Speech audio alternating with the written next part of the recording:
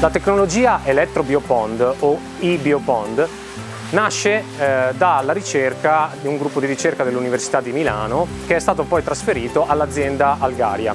Questa tecnologia si basa sulle eh, microbica elettroattiva che avviene eh, all'interno di sistemi elettrochimici microbici. Eh, questa tecnologia permette sostanzialmente di recuperare eh, nutrienti da eh, scarti organici e ehm, residui dell'industria alimentare per poterli riutilizzare come nutrimento per ehm, la coltivazione di microalghe. Quindi sostanzialmente nell'ottica di un'economia circolare andiamo a recuperare quello che sarebbe uno scarto per produrre un prodotto di altissimo valore aggiunto e un, un cibo di altissimo valore nutrizionale. Cuore della tecnologia eBiopond si comporta sostanzialmente come un suolo artificiale, dove microorganismi a contatto con materiali conduttivi ossidano la sostanza organica liberando in forma minerale tutti i nutrienti contenuti inizialmente nel substrato. Questi nutrienti quindi possono poi in soluzione andare a disposizione delle microalghe che possono crescere grazie alla presenza di questi nutrienti.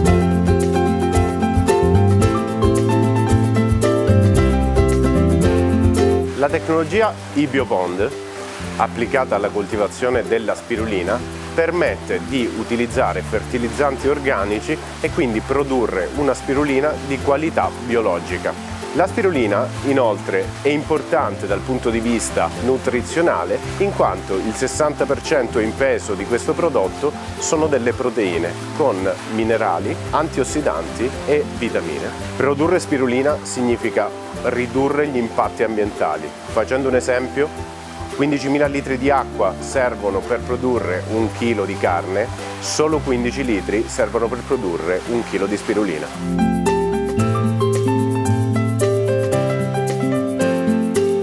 La tecnologia eBiopond eh, ha permesso alla nostra azienda Spirufarm di produrre spirulina biologica per 365 giorni l'anno come? Attraverso l'impianto di biogas.